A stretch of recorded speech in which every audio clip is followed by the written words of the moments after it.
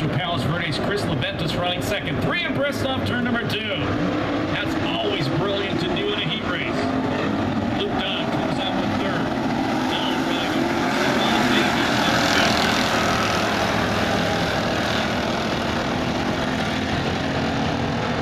Here comes Dunn around the outside of Leventis. Moving the number 98 car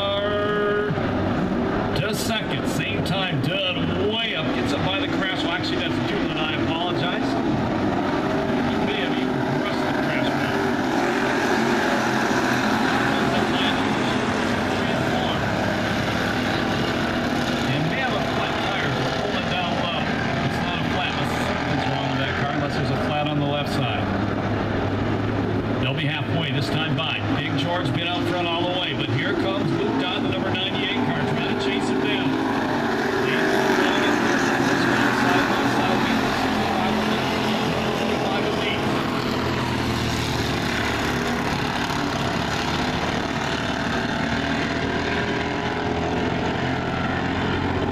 Gates comes off turn number two. He is now in